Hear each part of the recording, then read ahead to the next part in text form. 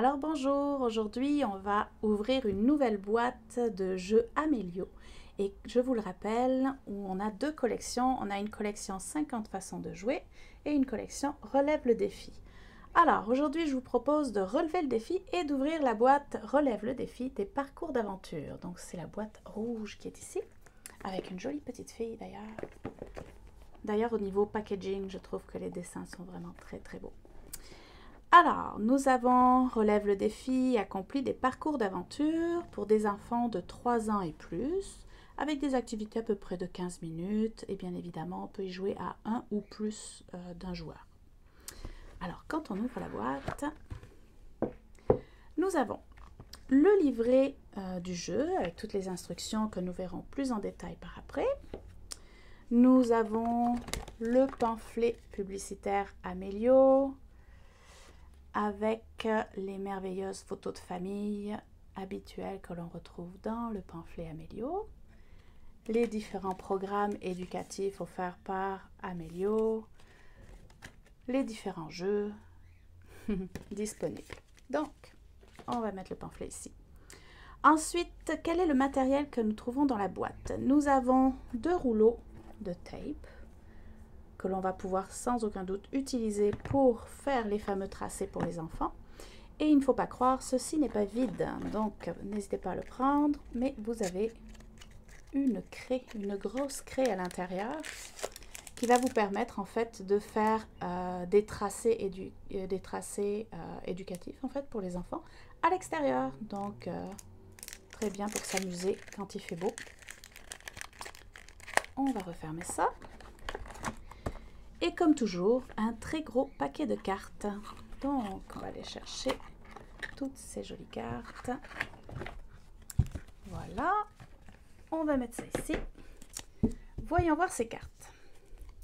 Nous avons des cartes avec des couleurs différentes, comme vous pouvez le constater. Donc, des cartes jaunes, qui sont les cartes tracées.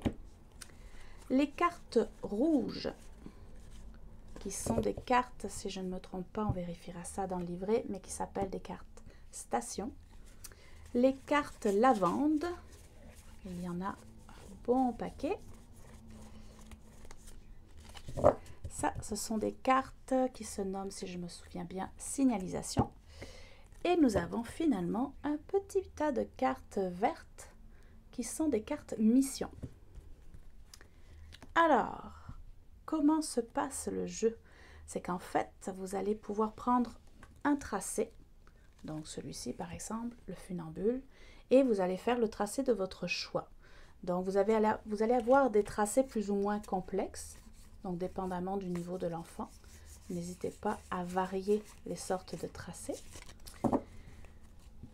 À l'aide de la craie ou des rubans adhésifs, ben, vous formez le tracé et l'enfant va devoir marcher en respectant la consigne.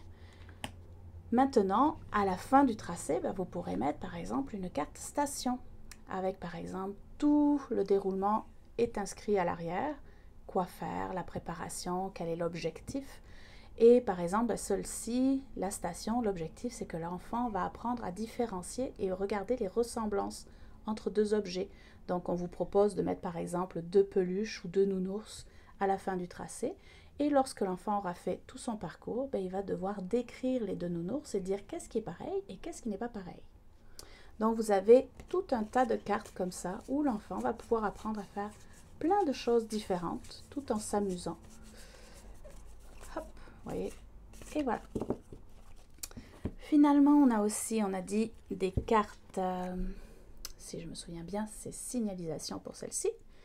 Donc là, ben, ça va être, par exemple, tu vas devoir faire le tracé, mais en faisant le colibri. Donc il va devoir imiter un petit colibri tout le long du tracé. Et finalement, on a les cartes mission. Donc là, c'est si vous avez la possibilité d'additionner plusieurs tracés les uns à la suite des autres avec plusieurs stations. Ben, au dernier, vous avez la possibilité d'une mission finale en fait. Euh, telle que par exemple ici, avoir un moment bulle pour écouter de la musique pour soi, ou le bocal de la fierté, vous avez la tour collective, donc plein de petites missions comme ça, finales. Donc, on a vu les cartes, nous allons regarder maintenant ce qu'il en est avec le livret.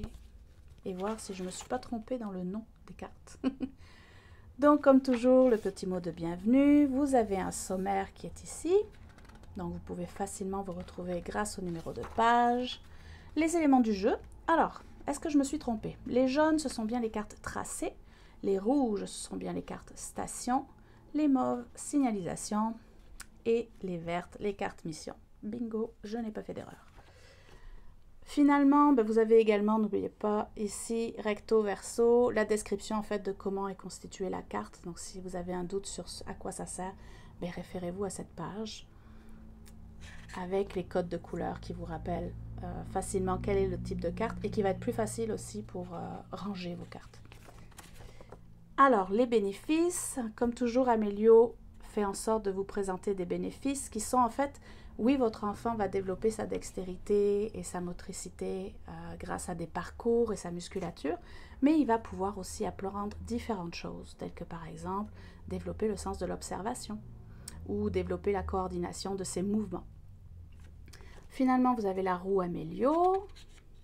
Donc ça, c'est les différents champs euh, de développement qu'on peut développer chez les enfants et chez l'adulte aussi, soit dit en passant.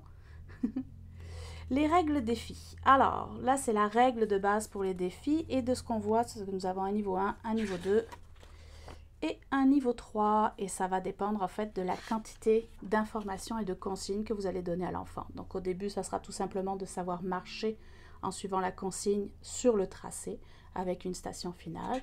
Au niveau 2, ben, vous allez peut-être avoir en plus une signalisation. Donc il va falloir que tu marches comme un colibri en plus de faire ben, un moment de détente par exemple à la fin. Et le niveau 3, ben, le niveau 3 ça va être une succession en fait de, euh, une succession de, de, stations qui vont pouvoir être là avec différentes stations, différentes missions et différentes signalisations. Avec le niveau 4, euh, là aussi, vous voyez, les schémas aussi sont très représentatif de l'activité à suivre. Finalement, vous avez également toute une partie explicative de pourquoi il est important que votre enfant bouge, qu'est-ce que ça permet de développer. Donc euh, à ce niveau-là, comment l'enfant va se développer de manière épanouie. Donc ça, c'est plus de l'informatif pour le parent s'il souhaite euh, approfondir la façon de comment enseigner à son enfant. Et voilà, donc ça, c'était le livret Amélio. Donc on a à peu près tout vu pour relever le défi et vos enfants vont être super habiles. Je vous souhaite une belle journée.